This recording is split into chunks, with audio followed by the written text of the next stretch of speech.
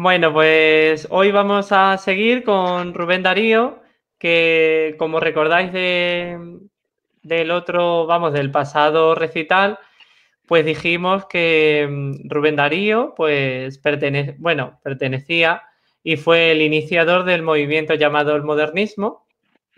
Y a través de la poesía que él escribió, pues nos reflejaba unas características especiales, que eran la ampliación musical, la diversidad de atmósferas, la melodía eh, interior, una naturaleza también con resultados musicales y coloristas, y también, eh, y no menos importante, los pequeños reflejos mitológicos, aunque muy pequeños, em, y una gracia mesurada en todos sus versos.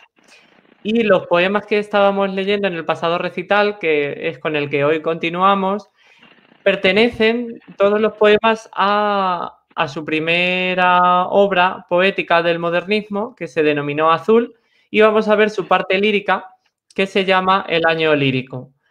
Y comenzamos el, pasado recital con un poema que publicó con tan solo 13 años que se llamaba Una lágrima. Y después, pues estuvimos recitando primavera, bueno, primaveral, la parte primaveral, estival. Y nos quedamos para empezar, me parece que en autumnal. El perteneciente al otoño. Muy bien. A partir de aquí, pues vamos a comenzar. De acuerdo. Bueno, pues empezamos con autumnal. En las pálidas tardes hierran nubes tranquilas en el azul. En las ardientes manos se posan las cabezas pensativas. Ah, los suspiros. Ah, los dulces sueños. Ah, las tristezas íntimas. Ah, el polvo de oro que en el aire flota, tras cuyas ondas trémulas se miran los ojos tiernos y húmedos, las bocas inundadas de sonrisas, las crespas cabelleras y los dedos, dedos de rosa que la acarician.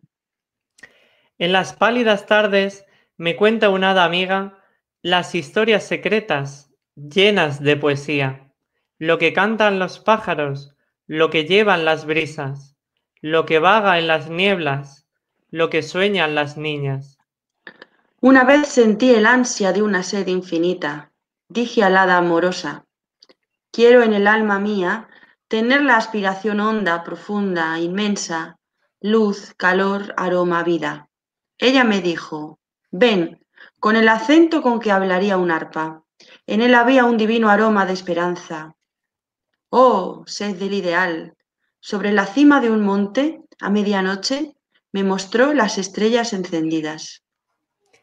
Era un jardín de oro, con pétalos de llama que titilan.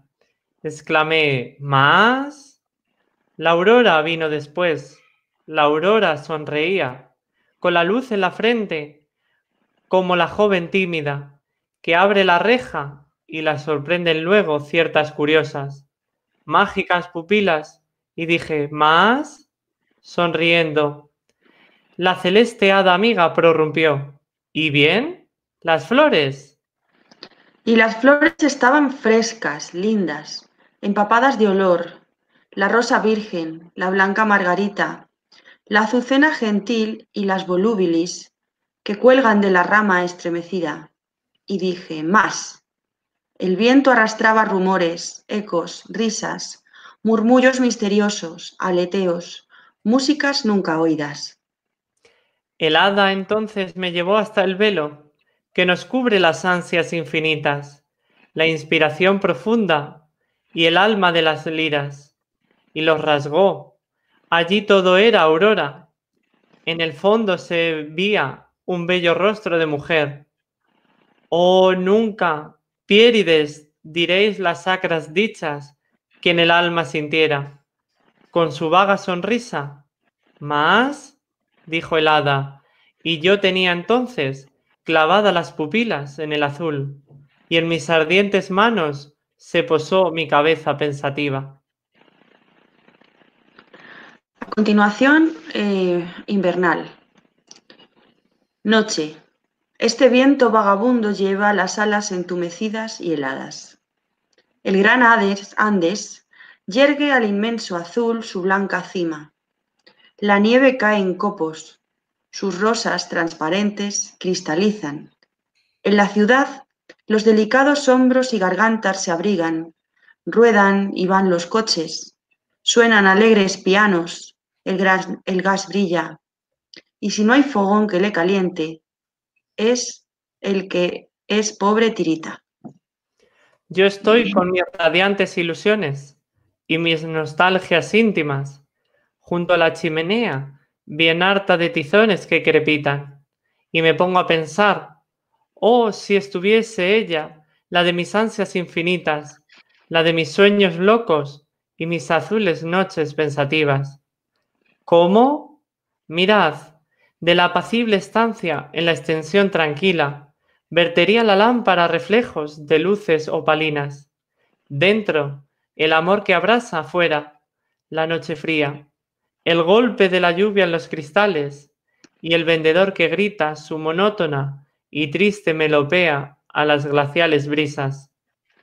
Dentro, la ronda de mis mil delirios, las canciones de notas cristalinas, unas manos que toquen mis cabellos, un aliento que roce mis mejillas, un perfume de amor, mil conmociones, mil ardientes caricias, ella y yo, los dos juntos, los dos solos, la amada y el amado, oh poesía, los besos de sus labios y la música triunfante de mis rimas, y en la negra y cercana chimenea, el tuero brillador que estalla en chispas. Oh, bien haya el brasero, lleno de pedrería, topacios y carbunclos, rubíes y amatistas, en la ancha copa etrusca repleta de ceniza, los lechos abrigados, las almohadas mullidas, las pieles de astracán, los besos cálidos que dan las bocas húmedas y tibias. Oh viejo invierno salve, puesto que traes con las nieves frígidas el amor embriagante y el vino del placer en tu mochila. Sí, estaría a mi lado dándome sus sonrisas, ella, la que hace falta mis estrofas, esa que mi cerebro se imagina, la que si estoy en sueños se acerca y me visita, ella que hermosa, tiene una carne ideal, grandes pupilas, algo de mármol, blanca luz estrella, nerviosa, sensitiva, Muestra el cabello gentil y delicado de las Eves antiguas, bellos gestos de la diosa, tersos brazos de ninfa, lustrosa cabellera en la nunca encrespada y recogida, y ojeras que denuncian ansias profundas y pasiones vivas. Ah, por verla encarnada, por gozar sus caricias, por sentir en mis labios los besos de su amor, diera la vida. Entre tanto hace frío, yo contemplo las llamas que se agitan, cantando alegres con sus lenguas de oro, móviles, caprichosas e intranquilas. En la negra y cercana chimenea, do el tuero brillador estalla en chispas. Luego pienso en el coro de las alegres liras, en la copa labrada, el vino negro, la copa hirviente en cuyos bordes brillan con iris temblorosos y cambiantes como un collar de prismas, el vino negro que la sangre enciende y pone el corazón con alegría y hace escribir a los poetas locos sonetos áureos y flamantes silvas. El invierno es beodo, cuando soplan sus brisas, brotan las viejas cubas, la sangre de las viñas. Sí, yo pintara su cabeza cana, con corona de pámpanos guarnida. El invierno es galeoto, porque las noches frías, Paolo besa a Francesca en la boca encendida, mientras su sangre como fuego corre y el corazón ardiendo le palpita. Oh crudo invierno, salve, puesto que traes con las nieves frígidas el amor embriagante y el vino del placer en tu mochila. Ardor adolescente, miradas y caricias. ¿Cómo estaría trémula en mis brazos la dulce amada mía, dándome con sus ojos luz sagrada, con su aroma de flor, savia divina, en la alcoba la lámpara derramando sus luces opalinas, oyéndose tan solo suspiros, ecos, risas, el ruido de los besos, la música triunfante de mis rimas, y en la negra y cercana chimenea, el tuero brillador que estalla en chispas. Dentro, el amor me abrasa, fuera, la noche fría. El siguiente es Pensamiento de Otoño, que dedica a Armand Silvestre. Huye el año a su término, como arroyo que pasa, llevando del poniente luz fugitiva y pálida, y así como el del pájaro que triste tiende el ala, el vuelo del recuerdo que al espacio se lanza, languidece en lo inmenso del azul por donde vaga, huye el año a su término, como arroyo que pasa. Un algo de alma aún yerra por los cálices muertos de las tardes volúbiles y en los rosales trémulos, y de luces lejanas al hondo firmamento, en alas del perfume, aún se remonta un sueño. Un algo de alma aún yerra por los cálices muertos. Canción de despedida, fingen las fuentes túrbidas. Si te place, amor mío, volvamos a la ruta, que allá en la primavera, ambos las manos juntas, seguimos embriagados de amor y de ternura, por los gratos senderos, donde sus ramas columpian, olientes avenidas que las flores perfuman. Canción de despedida, fingen las fuentes turbias. Un cántico de amores brota en mi pecho ardiente, que eterno abril fecundo de juventud florece. Que mueran en buena hora los bellos días, llegue otra vez el invierno, renazca áspero y fuerte del viento entre el quejido, cual mágico himno alegre, un cántico de amores brota mi pecho ardiente. Un cántico de amores a tu sacra beldad. Mujer, eterno estío, primavera inmortal, hermana del ígneo astro, que por la inmensidad en toda estación vierte, fecundo sin cesar, de su luz esplendente, el dorado raudal. Un cántico de amores a tu sacra beldad. Mujer eterno estío, primavera inmortal.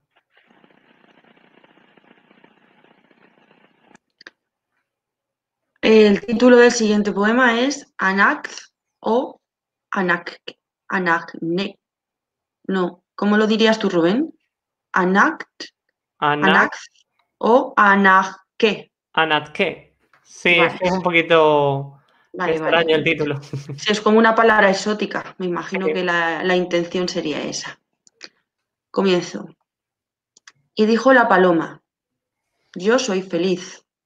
Bajo el inmenso cielo, en el árbol en flor, junto a la poma llena de miel, junto al resueño suave y húmedo por las gotas de rocío, tengo mi hogar y vuelo con mis anhelos de ave, del amado árbol mío hasta el bosque lejano, cuando al himno jocundo al del despertar de oriente, sale el alba desnuda y muestra al mundo el pudor de la luz sobre su frente. Mi ala es blanca y sedosa, la luz la dora y baña, y cefiro la peina, con mis pies como pétalos de rosa.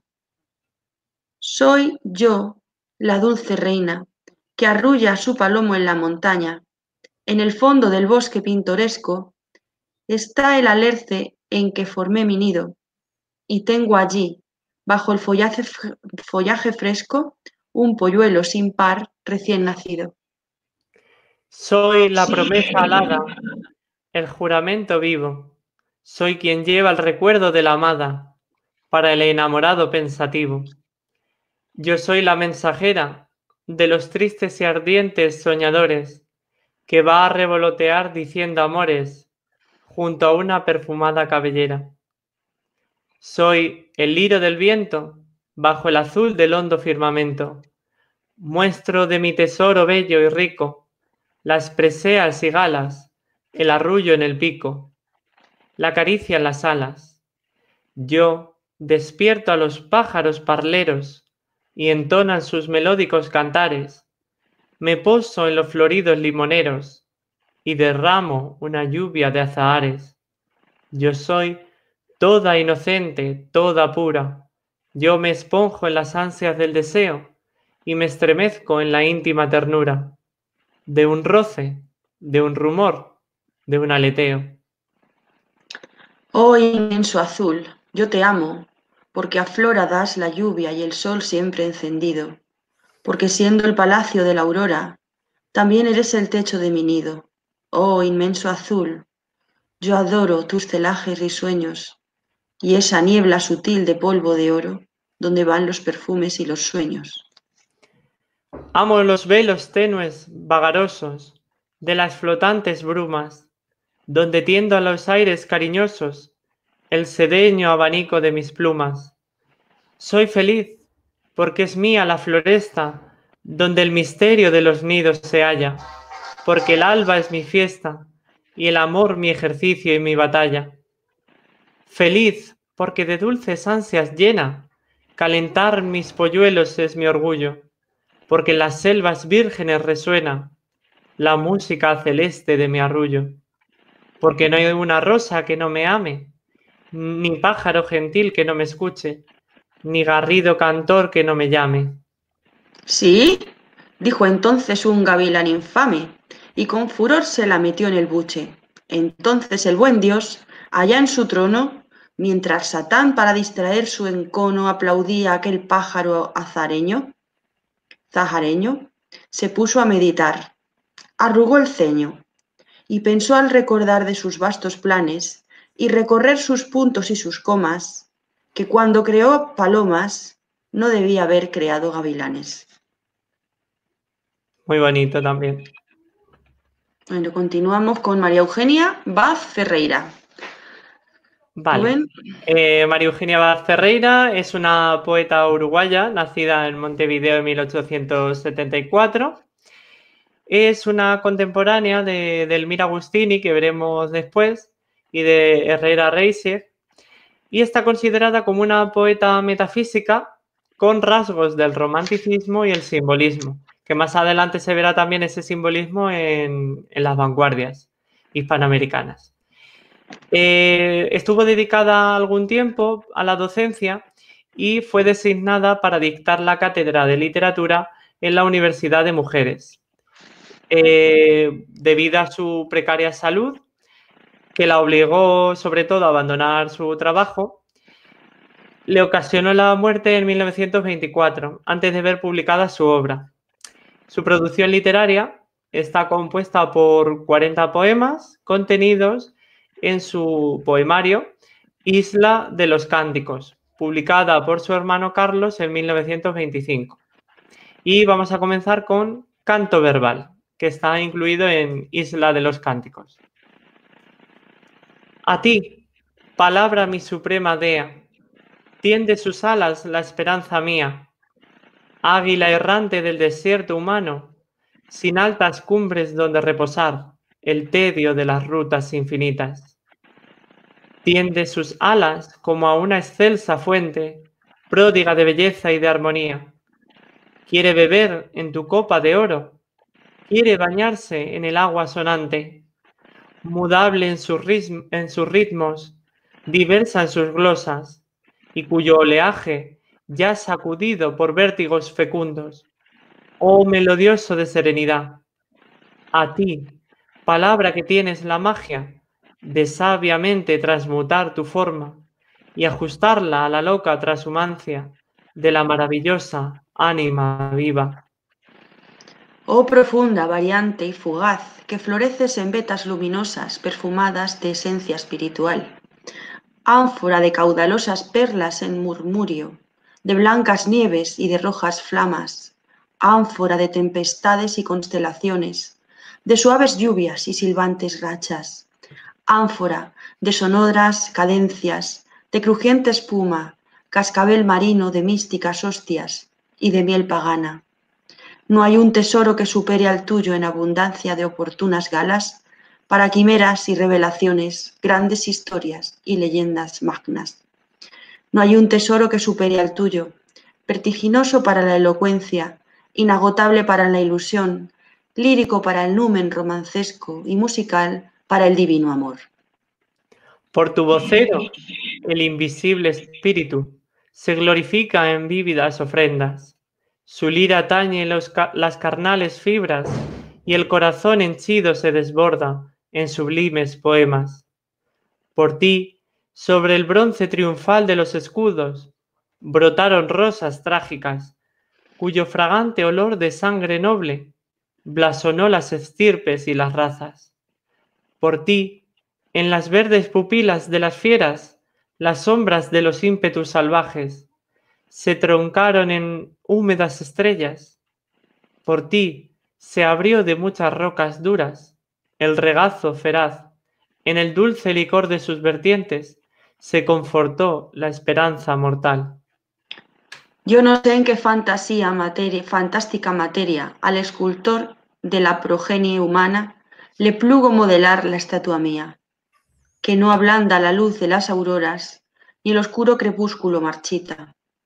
Pero si alguna vez mi corazón abre a la vida un raudal interno, si se doran mis áridas llanuras y se pueblan de esquifes mis océanos, si se viste de estelas fulgurantes la nebulosa noche de mis piélagos, y las alas sin sol de mis pendones en raudas ondas flotan a los vientos, si gorjean mis pájaros será cuando en la entraña de un sacro silencio, sobre la rosa de mi tumba viva, choque su llama un rayo de fuego. El siguiente es elegía crepuscular. Viento suave del crepúsculo, viento de las leves alas, azulmente silenciosas, y azulmente solitarias. Anónimo pasajero, fugaz en todas las patrias, en las misteriosas selvas y en las grutas oceánicas. Viento suave del crepúsculo, viento de las leves alas, tu roce sobre mi frente tiene la misma eficacia. De la luna entre las ruinas, de los óleos en las llagas y de las claves que aflojan el cordaje de las arpas. Tu fresco soplo serena la exaltación de mi alma, fosca de llamar sin nombre y esperar sin esperanza por haber nacido póstuma dentro de su propia lápida. Viento suave del crepúsculo que cruza sin decir nada, el tránsito, el transitorio paréntesis, suspenso en la sombra vaga cuando enmudecen las cosas, o todavía no cantan, cuando de los rojos soles palidecieron las flamas, y las nocturnas estrellas están todavía pálidas. Si yo supiera estar triste, yo me desharía en lágrimas, para que así me bebieran las caricias de tus ráfagas. Qué lindo renunciamiento, qué liberación beata. Viento suave del crepúsculo, si tus brisas me acabaran, azulmente silenciosas y azulmente solitarias, viento suave del crepúsculo, viento de las leves alas. El siguiente poema se llama, se titula Hacia la noche. Oh noche, yo tendría una palma futura desplegada sobre el gran firmamento si tú me das por una sola noche tu corazón de terciopelo negro, y yo, al compás de su morena sangre, canto con las ondas beatas el sacro silencio. Mi canto será vivo solo por el deseo de, serenar la cotidiana, cotidiana angustia.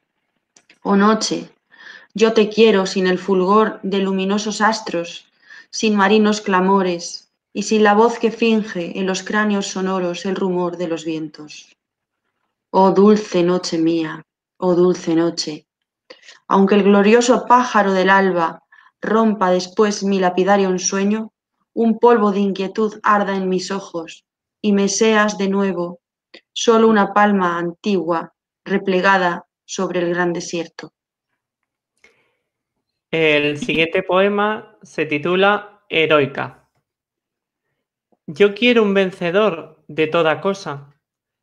invulnerable, universal, sapiente, inaccesible y único, en cuya grácil mano se quebrante el acero, el oro se diluya y el bronce en que se funden las corazas, el sólido granito de los muros, las rocas y las piedras, los troncos y los mármoles, como la arcilla modelable sean, a cuyo pie sin valla y sin obstáculo las murallas amengüen, se nivelen los pozos, las columnas se trunquen, y se abran de par en par los pórticos, que posea la copa de sus labios, el licor de la vida, el virus de la muerte, la miel de la esperanza, las beatas obleas del olvido, y del divino amor las hostias sacras. Que el erótico influjo de sus ojos se empañe en los cristales, la nieve se calcine, se combustione el seno virginal de las selvas y se empenache con ardientes ascuas. El corazón de la rebelde fémina que al rayar de su testa iluminada resbalen de las frentes las más bellas coronas, los lábaros se borren, repliegue sus insignias, la faz del estandarte y vacilen los símbolos ilustres sobre sus pedestales.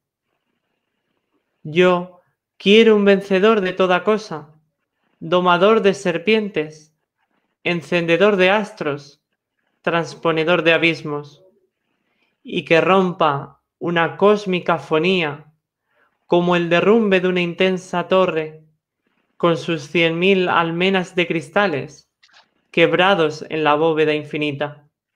Cuando el gran vencedor doble y deponga, cabe mi planta sus rodillas ínclitas. El siguiente poema es La estrella misteriosa. Yo no sé dónde está, pero su luz me llama. Oh misteriosa estrella, de un inmutable sino. Me nombra con el eco de un silencio divino y el luminar oculto de una invisible llama. Si alguna vez acaso me aparto del camino, con una fuerza ignota de nuevo me reclama. Gloria, quimera, fénix, fantástica oriflama, o un imposible amor extraño y peregrino. Y sigo eternamente por la desierta vía, tras la fatal estrella cuya atracción me guía, mas nunca, nunca, nunca a revelarse llega. Pero su luz me llama, su silencio me nombra, mientras mis torpes brazos rastrean en la sombra con la desolación de una esperanza ciega. Bueno, pues ahora tenemos a Delmira Agustini, que como hemos visto, María Eugenia era una contemporánea. Pues Delmira Agustini sigue sus, sus mismos rasgos, pero es una poeta eh, más representativa de la poesía hispanoamericana ya del siglo XX. Eh, fue admirada por su talento y por la sensualidad de sus versos y sobre todo eh, muchos, muchos la conocen por su poesía erótica que comienza a emerger en algunos poemas de su poemario titulado El libro blanco. Su prematura y trágica muerte eh, hace de ella toda una leyenda que no impidió que se publicaran tres poemarios que llamaron la atención sobre todo de sus contemporáneos y que desconcertaron eh, del mismo modo a la sociedad uruguaya eh, y que no se nos olvide, también fue elogiada por Rubén Darío en varias de sus obras, como en El Pórtico, de su libro Los cálices vacíos, y también en el Rosario de Eros. Eh, de ese poemario, el Rosario de Eros, hemos elegido algunos poemas de los que vamos a recitar y para que veáis el elogio que hizo Rubén Darío sobre el Rosario de Eros, os lo voy a, recitar aquí, para que veáis cómo describe la figura de Delmira Agustini y a su creación poética. Elogio de Rubén Darío. De todas cuantas mujeres hoy escriben en verso, ninguna ha impresionado mi ánimo como Delmira Agustini, por su alma sin velos y su corazón de flor. a veces rosa por lo sonrosado, a veces lirio por lo blanco. Y es la primera vez que en lengua castellana aparece un alma femenina en el orgullo de la verdad de su inocencia y de su amor, a no ser Santa Teresa en su exaltación divina. Si esta niña bella continúa en la lírica revelación de su espíritu, como hasta ahora, va a asombrar a nuestro mundo de lengua española. Sinceridad, encanto y fantasía, he aquí las cualidades de esta deliciosa musa. Cambiando la frase de Shakespeare, podría decirse, That is a woman, pues por ser muy mujer, dice cosas exquisitas que nunca se han dicho. Sean con ella la gloria, el amor y la felicidad. Este era el, elogio de Rubén Darío que le hizo para el Rosario de Eros. Eh, a continuación tenemos un poema que se titula Cuentas de mármol. Yo, la estatua de mármol con cabeza de fuego, apagando mis sienes en frío y blanco ruego. Engarzad en un gesto de palmera o de astro vuestro cuerpo, esa hipnótica alhaja de alabastro, tallada a besos puros y bruñida en la edad, sereno, tal sabiendo la luna por coraza, blanco, más que si fuerais la espuma de la raza, y desde el tabernáculo de vuestra castidad, nevad a mí los lises hondos de vuestra alma, mi sombra besará vuestro manto de calma, que creciendo, creciendo me envolverá con vos, luego será mi carne en vuestra pérdida, luego será mi alma en la vuestra diluida, luego será la gloria, y seremos un Dios, Dios, amor de blanco y frío, amor de estatuas, lirios, astros, dioses. Tú me lo des, Dios mío. El siguiente se titula Cuentas falsas. Los cuervos negros sufren hambre de carne rosa. En engañosa luna mi escultura refleja. Ellos rompen sus picos, martillando el espejo y al alejarme irónica, intocada y gloriosa, los cuervos negros vuelan hartos de carne rosa. Amor de burla y frío, mármol que el tedio barnizó de fuego, o lirio que el rubor vistió de rosa. Siempre lo dé, Dios mío. Oh rosario fecundo, collar vivo que encierra la garganta del mundo, cadena de la tierra, constelación caída, oh rosario imantado de serpientes, glisa hasta el fin entre mis dedos sabios, que en tu sonrisa de cincuenta dientes, con un gran beso se prendió mi vida, una rosa de labios.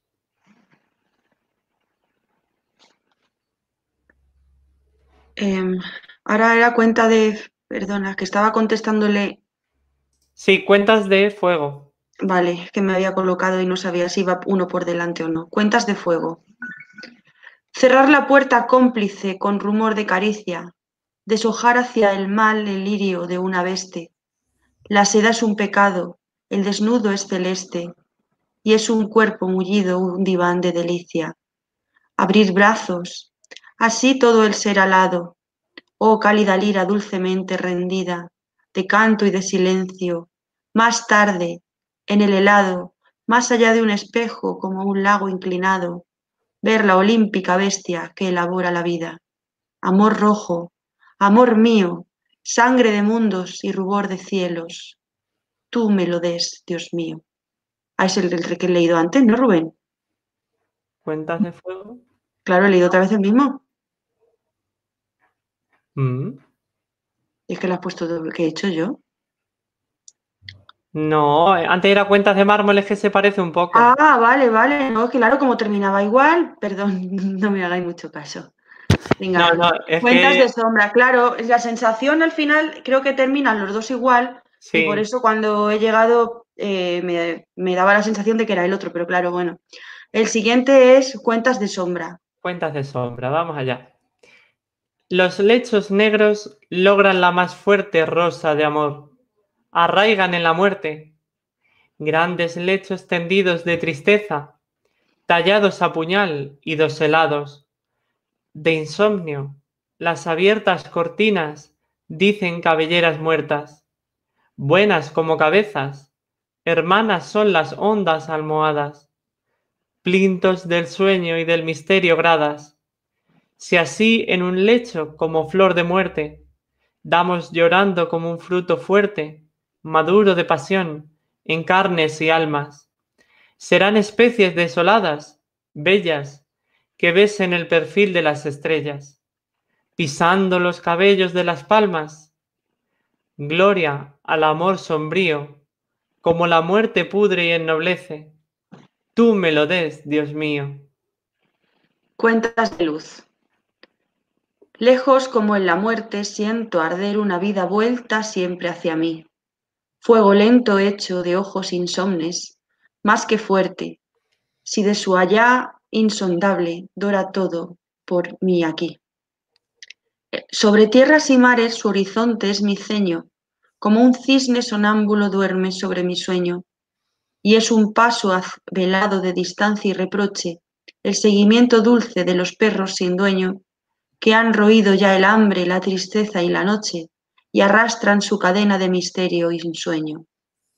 Amor de luz, un río que es el camino de cristal del bien. Tú me lo des, Dios mío. Bueno, pues llegamos a, la, Alfonsina Storni, que nació en 1892 en Suiza, pero se trasladaron con, con poca edad, se trasladaron junto con su familia a Argentina. Em, con 12 años, Alfonsina escribe su primer poema, eh, que si recordáis, Rubén Darío lo escribió con 13 años y Alfonsina Stornil ya escribió con 12 años. Pero este poema que hizo fue tan triste y tan centrado en la muerte que la madre al leerlo, porque Alfonsina lo deja debajo de, de la almohada de su madre, cuando lo lee la madre, lo primero que hace es eh, al levantarse, regañar a su hija, porque le dice que la vida es dulce y no es tan triste como ella lo, ha, escrito, como ella lo ha descrito en su poema. Eh, publica sus, primeros versos después de este poema en las revistas Mundo Rosariano y Monos y Monadas. Y em, en sus últimos tiempos Alfonsina se retrae y apenas sale a la calle. Vive sus últimos años un poco atemorizada por, la muerte. Y lo que, más, em, lo que más nos llama la atención quizás es su último poema, que es un preludio de su muerte, al que tituló Me voy a dormir, que envió a la redacción de un periódico que se llama La Nación en el cual mientras el público estaba leyendo su poema, en la madrugada del 25 de octubre se introdujo poco a poco en el mar hasta morir ahogada con tan solo 46 años. Se piensa que ese fue sus últimas palabras, las de me voy a dormir, y las hemos incluido en este recital también. Y vamos a comenzar con el primer poema que ella compuso, que se llama un cementerio que mira al mar. Decid, oh muertos, ¿quién os puso un día así acostados junto al mar sonoro? ¿Comprendía quién fuera que los muertos se hastían ya del canto de las aves y os han puesto muy cerca de las olas, porque sintáis del mar azul el ronco bramido que apavora? Os estáis junto al mar que no se calla, muy quietecitos con el muerto oído, oyendo cómo crece la marea y aquel mar que se mueve a vuestro lado es la promesa no cumplida de una resurrección. En primavera, el viento suavemente, desde la barca de allá que allá lejos pasa, os trae risas de mujeres. Tibio, un beso viene con la risa, filtra la piedra firia y se acurruca, sabio, en vuestra boca y os consuela un poco. Pero noches tremendas, cuando aúlla el viento sobre el mar y allá a lo lejos, Los hombres vivos que navegan tiemblan sobre los cascos débiles y el cielo se vuelca sobre el mar en aluviones. Vosotros, los eternos contenidos, no podéis más y por el esfuerzo enorme levantáis las cabezas de la tierra. Y en un lenguaje que ninguno entiende gritáis, venid, olas del mar, rodando, venid de golpe y envolvednos, como nos envolvieron de pasión movidos, brazos amantes. Estrujadnos, olas, movednos de este lecho donde estamos horizontales, viendo cómo pasan los mundos por el cielo, noche a noche. Entrad por nuestros ojos consumidos, buscad la lengua la que habló y movedla. Echadnos fuera del sepulcro a golpes. ¿Y acaso el mar escuche, innumerable, vuestro llamado monte por la playa? y os cubra al fin terriblemente hinchado. Entonces, como obreros que comprenden, se detendrán las olas y leyendo las lápidas incriptas, poco a poco las moverán a suaves golpes hasta que las desplacen lentas y os liberten. Oh, qué hondo grito el que daréis, qué enorme grito de muerto, cuando el mar os coja entre sus brazos y os arroje el seno del grande abismo que se mueve siempre. Brazos cansados de guardar la misma horizontal postura, tibias largas, calaveras sonrientes, elegantes fémures corvos, confundidos todos, danzarán bajo el rayo de la luna, la milagrosa danza de las aguas, y algunas desprendidas cabelleras, rubias acaso, como el sol que baje curioso a veros, islas delicadas, formarán sobre el mar y acaso atraigan a los pequeños pájaros viajeros. Animal cansado. Este es otro, otro poema. Quiero un amor feroz de garra y diente que me asalte a traición en pleno día y me sofoque esta soberbia mía, este orgullo de ser todopudiente. Quiero un amor feroz de garra y diente que en carne viva inicie su mi sangría a ver si acaba esta melancolía que me corrompe el alma lentamente. Quiero un amor que sea una tormenta, que todo rompe y lo remueve todo, porque vigor profundo la alimenta. Que pueda reanimarse allí mi lodo, mi pobre lodo de animal cansado, por viejas sendas de rodar hastiado. El siguiente poema se titula Vida.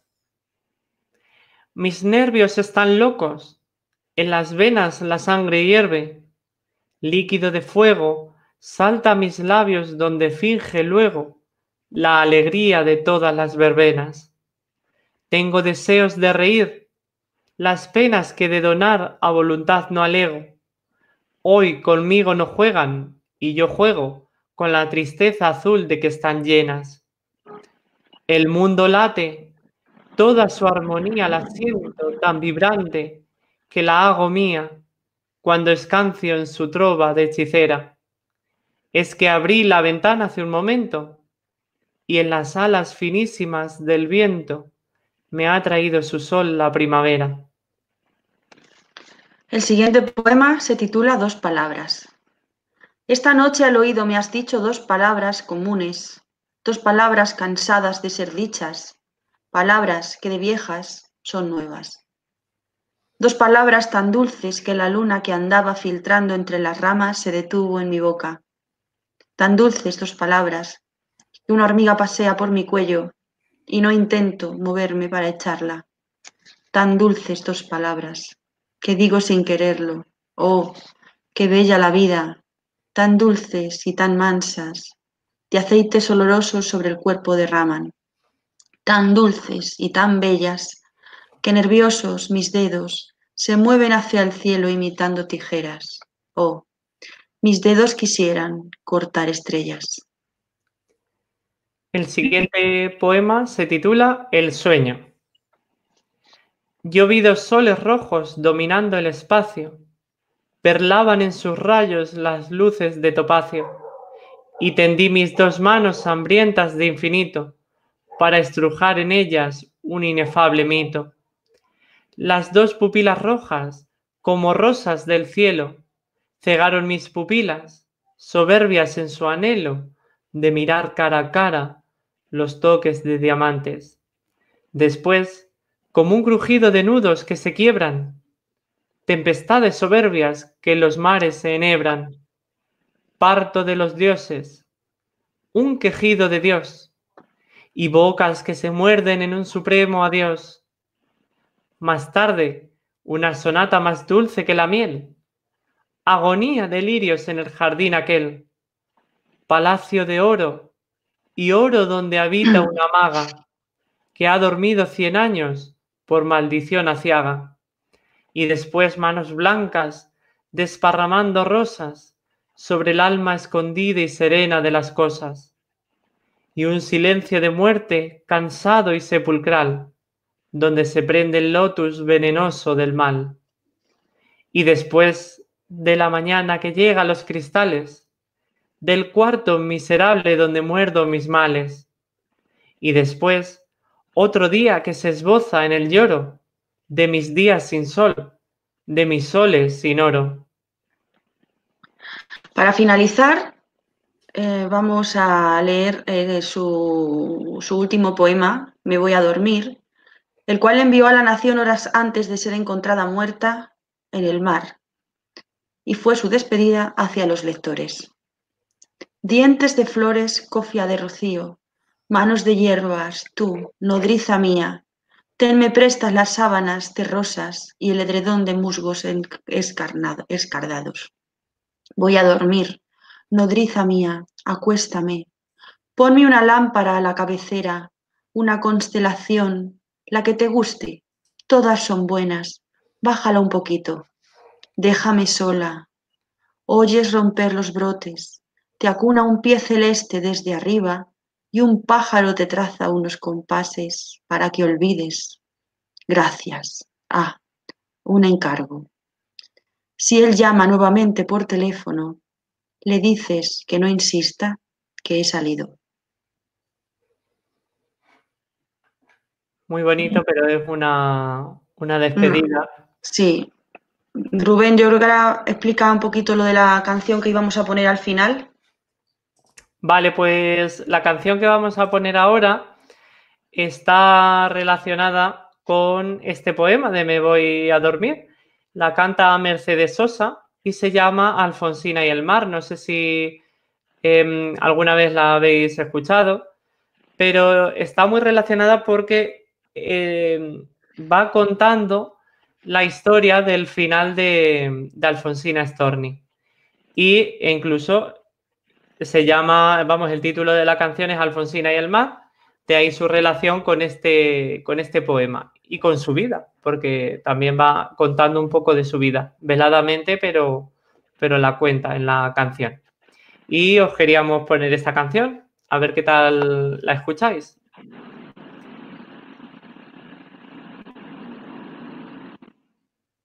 Rubén, he hecho algo porque no sé lo que he hecho, ¿de dónde me he ido? Eh, Ahora mismo te, estoy viendo. Pues entonces, bueno, pues entonces también me estarán viendo a mí. Pregunta si me ven y me oyen. Sí, vale. Es que no sé lo que. He cerrado algo que antes tenía abierto y ya no sé lo que es. Venga, pues será el YouTube. Da igual entonces que lo cierre. Sí, no, eso da, eso da Vale, vale, vale. Pues es que ya no sabía yo de repente dónde le había dado. Vale, continuamos. Vale, pues si quieres, pues ya. Sí, sí, la canción. Está la canción, que es muy bonita.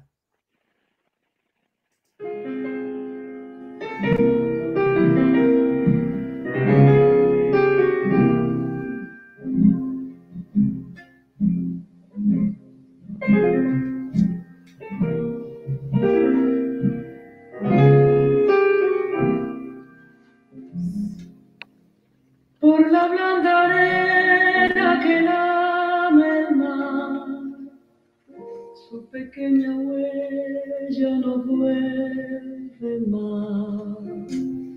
Un sendero solo de pena y silencio llegó hasta el agua profunda. Un sendero solo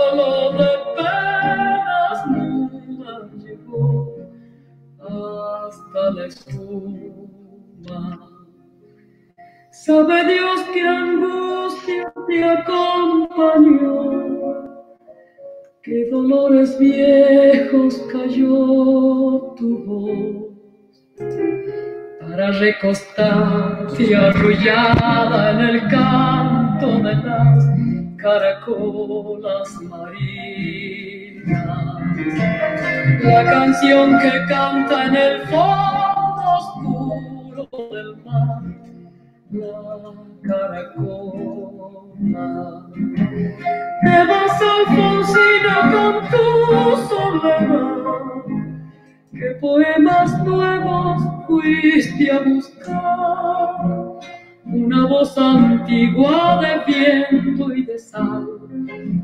Te requiere el alma y la está llevando y te vas allá como en sueños, dormida Alfonsina, vestida.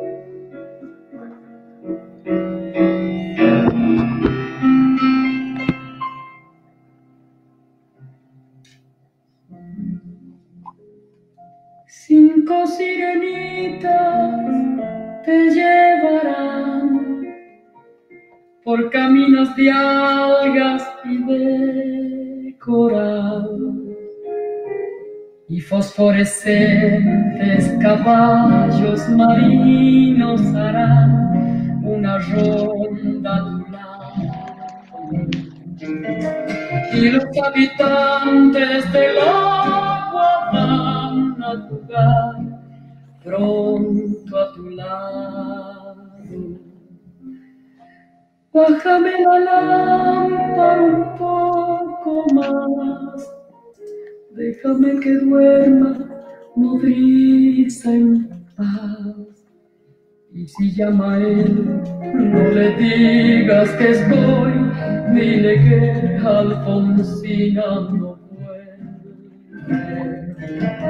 Y si llama él, no le digas nunca me estoy, di que me he ido. Te vas Alfonsina con tu soledad qué poemas nuevos fuiste a buscar. Una voz antigua de viento y de sal. Te requiere el alma y la estoy llamando. Y te vas hacia allá como en sueños, dormida Alfonsina, vestida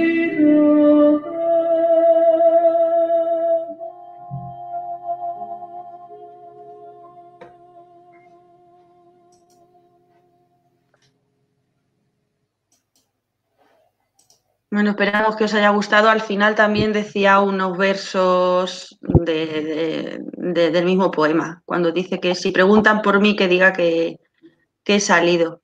Eh, si queréis hacer algún comentario, tanto los que están en Meet, si lo quieren abrir el micrófono, o los que están por el YouTube, si, no, por el, sí, por el YouTube, si quieren hacer algún comentario por el chat.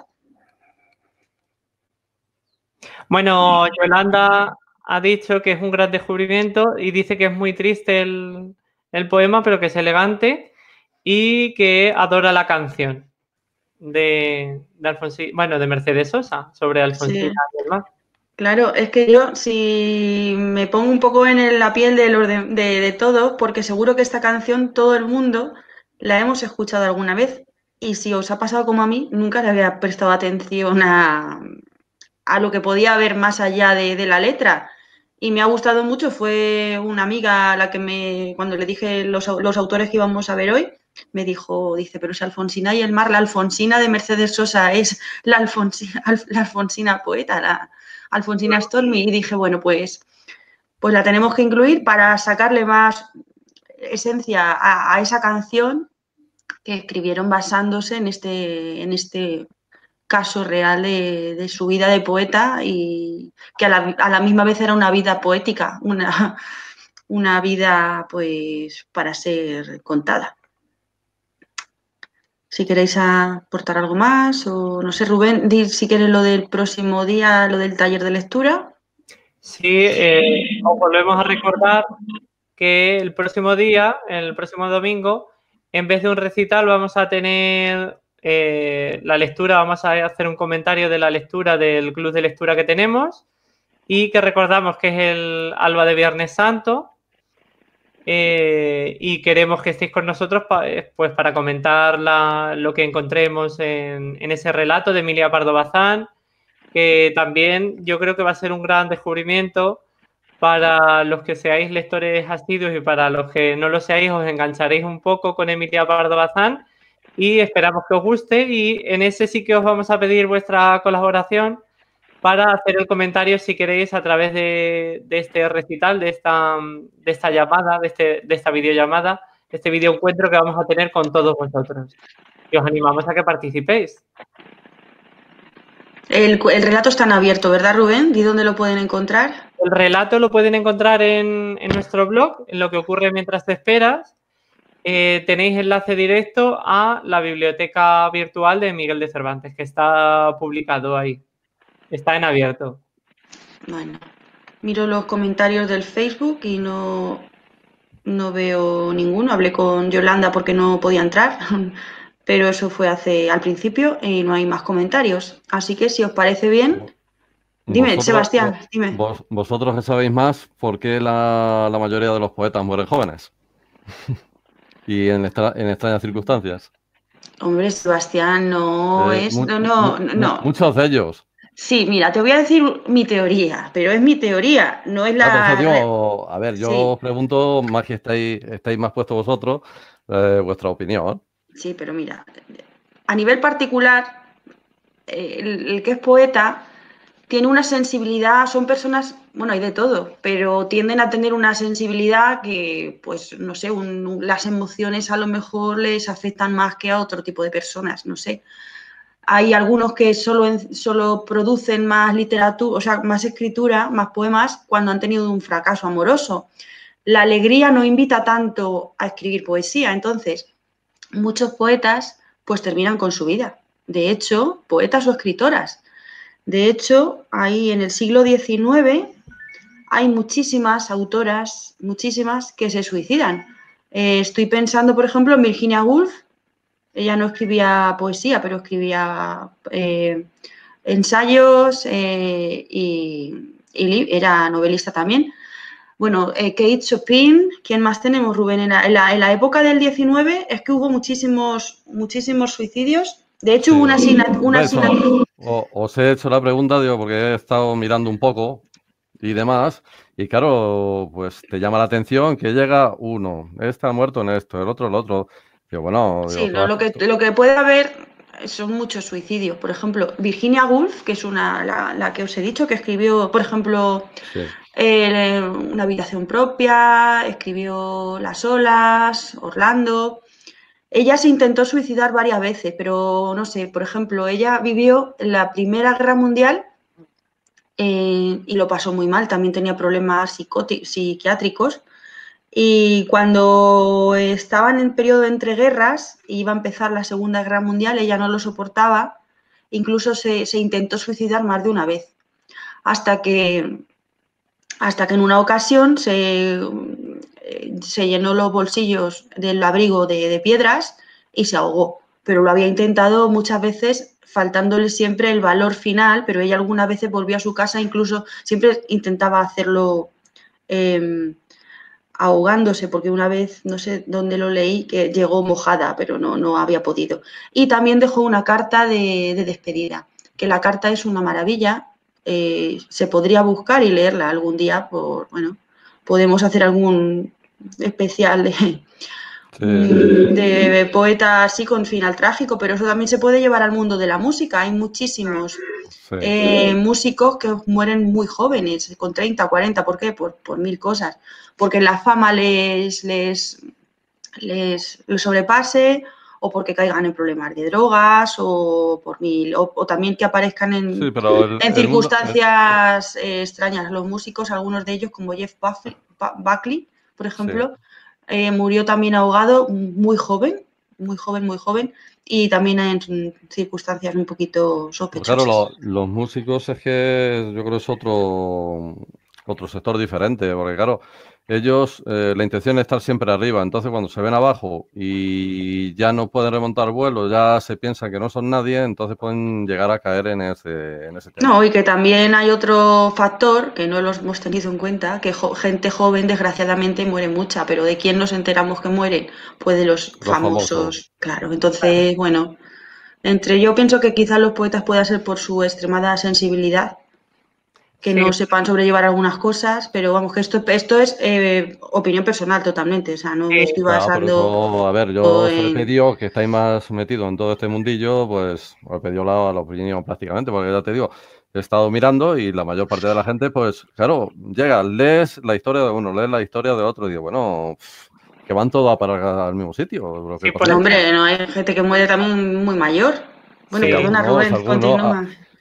No, que por ejemplo, en la última autora, Alfonsina Storni, pues ya, bueno, ya has visto que el primer poema que ella escribe, que es el que hemos leído, es sobre cementerios. O sea, tenía Sí. una mentalidad ya así, por, por así decirlo, así del gótico, más comparado así con Edgar Allan Poe. Y, y ese pensamiento tan, tan tétrico o triste, pues lo lleva durante toda su vida. Incluso tiene un desengaño amoroso que eso lo lleva a ser más negativa todavía de por sí. Pero luego eh, sí que es verdad que Alfonsina Storni sabía que iba a morir porque tenía un cáncer de mama. Eh, fue operada, pero su diagnóstico pues no, no era muy bueno. Entonces se cree que debido a ese diagnóstico que le dieron, pues la deprimió muchísimo, muchísimo más y ocasionó pues que se suicidara en el Mar de Plata eh, de Argentina y se cree que es por eso. Se despidió de, su, de sus lectores de esa manera para que la recordaran de esa manera, para que la recordaran como ella estaba. Y, y bueno, pues se despide con me voy a dormir. Y yo creo que es por eso. Ya veía su, su final cerca y dijo, pues antes de que me llegue un final peor, porque ella es que siempre estaba pensando en lo peor. Entonces, antes de que le llegara algo peor que ella no iba a poder soportar, porque si, si seguimos leyendo poemas, en cada poema va expresando mm, pues distintos dolores, distintos temores que ella tiene, y yo creo que todo eso se le unió en una depresión junto con la enfermedad que ella tenía, y yo creo que eso pues le hizo elegir el suicidio, creo yo. Y en otros autores, pues eh, más o menos lo que ha comentado Victoria, que los poetas suelen ser más sensibles a ciertos temas, pues un, algo amoroso, o yo qué sé, o cualquier cosa de su vida, cualquier enfermedad, algo que les haya pasado a algún familiar, pues todo eso en, en el alma pues te va resquebrajando un poco y al final pues mucha gente termina, muchos poetas terminan así. No todos, pero la mayoría. Sí, Yo ahora que le- estoy, le- estoy re- sí, que sí. le va, que le va afectando las cosas y no ven otra salida. Mira, yo ahora mismo estaba, mientras que estaba hablando Rubén, estaba pensando yo en Silvia Plath. Silvia Plath eh, era una poeta también eh, y yo creo que era británica. ¿Te acuerdas tú, Rubén? Era británica, ¿verdad? Creo que sí. Estaba casada también con un, con un poeta de estilos completamente diferentes. Él era el fuerte, él era el halcón, siempre eh, unas imágenes muy fuertes. Y ella no, ella hablaba de la tristeza, de la feminidad y bueno. En sus poemas también, si, si hacemos un seguimiento, sí que vas viendo siempre mucha, mucha tristeza, mucha, una defensa a ultranza de lo que es la, la figura de la mujer y la esencia femenina en, en el mundo. Y al final de sus días no resistió tampoco, se encerró en su cocina, abrió el gas y se, y se suicidó. Y también era muy, era muy joven. O sea que es un final, bueno, un poco que se- desgraciadamente se, se repite mucho Y, Es que pero- la, la- la- la mayoría de los poetas prácticamente van representando cosas de su vida. Sí. Pa- Sí, pa- pa- Para sí. algunos que haya, que prácticamente tengan imaginación para inventarse las cosas, la mayor parte reflejan lo, lo que son. Claro, pero en cierto modo sí siempre se re- recala algo de, de la personal, o sea, de, del- de la vida del que escribe. Pero luego dentro de la poesía hay diferentes estilos, o sea, diferentes eh, modalidades o subgéneros, no sé cómo llamarlo. Está, por ejemplo, la poesía narrativa, es una poesía en la que te están contando una historia, y luego está la, hay más tipos, y la poesía lírica, cuando hablas de poesía lírica estás hablando de la emoción del poeta. Entonces, claro, estos que estamos hablando pues son de poesía lírica y sí expresan sus sentimientos. Pero si os dais cuenta también hay mucha metáfora, porque cuando decía soy una, soy una escultura, no, no sé cómo, uno de los que hemos leído, soy una estatua que echa fuego, no sé, o sea, la voz Sí. poética ahí no es una persona, es eh, una, una estatua. Entonces tú sabes que las estatuas no hablan. Muchas veces cuesta saber si es el poeta el que habla o es simplemente un narrador que coloca ahí para expresar otra, otra cosa. Es que hay muchísimos autores, por ejemplo, recordando, Ernest Hemingway también, también se suicidó. Sí. Y yo creo que también estaba un poco relacionado con su enfermedad, que también tenía una enfermedad que creo recordar que, que no metabolizaba el hierro o algo así. Y eso le deterioró tanto que, que también yo creo que es que todo influye. Tu, tu vida te influye y también los sentimientos eh, y muchísimas cosas. Yo creo que le influyen sobre todo las enfermedades. Por ejemplo, Horacio Quiroga, que es un escritor uruguayo, que no, no hemos llegado a él, pero padeció también cáncer de próstata, por ejemplo. O sea que yo creo que está un poco todo relacionado con, con su vida. Y como has dicho, Sebastián, pues yo creo que eso, eso que le va ocurriendo en su vida, pues lo va intentando mostrar a través de sus poemas y nos está dando unas claves. Yo creo que nos da unas claves que, que a simple vista parece que no se ven, pero te está indicando ya el camino que, que van a llevar. Y bueno, en esta última sí que se, se vio con el último poema, aunque ninguno se imaginaba que iba a morir así, de esa manera. Sí, sí, eso como habéis comentado, mm, todos los poetas pueden ser que sean un poco más sensibles. Entonces, claro, a la hora de tener cualquier problema, pues no pueden afrontarlo psicológicamente.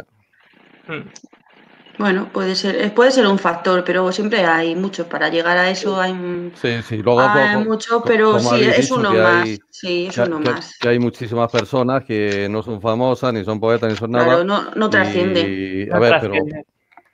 Sí, bueno, pues hay. ya, si queréis lo dejamos aquí, muy interesante la tertulia, pero son ya, la- son casi, bueno, son más de 20 y lo Sí. dejamos ya, leeros el relatito que es muy corto y bueno, pues comentamos la semana que viene. Venga, Echa- chao.